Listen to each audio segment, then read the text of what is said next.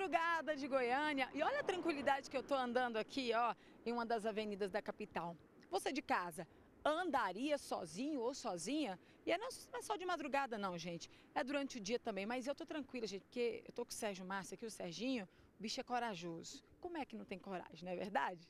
Mas ó, vamos falar sério, porque veja essa ocorrência que aconteceu lá em Aparecida de Goiânia e que atendeu foi a equipe do CPE. Dois homens foram presos e eles foram detidos porque estavam na rua né? E a polícia na besta, né, gente? A polícia, ela conhece. Olha só o que, que eles fizeram, gente. Tava passando de moto, viu a equipe do CPE, pegou uma bolsa e tampou a placa. Será que quer ser parado pela polícia? Agora veja como desenrolou toda essa história. Olha a cara deles aí. Se você reconhecê-los, pode fazer uma denúncia, pode procurar ainda a central de flagrantes ou o quarto DP, vai lá e fala, olha, eu reconheci eles de outros crimes, porque ambos já são velhos conhecidos da justiça.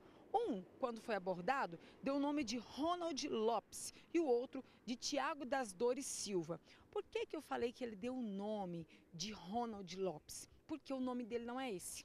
E ele é, usou esse nome e talvez até esqueceu, porque o Ronald, ele tem duas passagens, só que este aí, que está junto com o comparsa, é o Isaac Alexander Gregório dos Santos. Ele mentiu, porque ele já tem passagens por roubo, homicídio e receptação. E seguindo essa história, gente, eles foram detidos com uma bolsa, aquela bolsa que eu te disse que eles usaram para tampar a placa dessa motocicleta. A polícia encontrou dentro desta bolsa vários documentos e um olerite. Ligou para a vítima, uma mulher. Agiram com violência e roubaram essa mulher. Além de ladrões, são covardes. Ei, a vítima reconheceu os dois e eles foram presos em flagrante.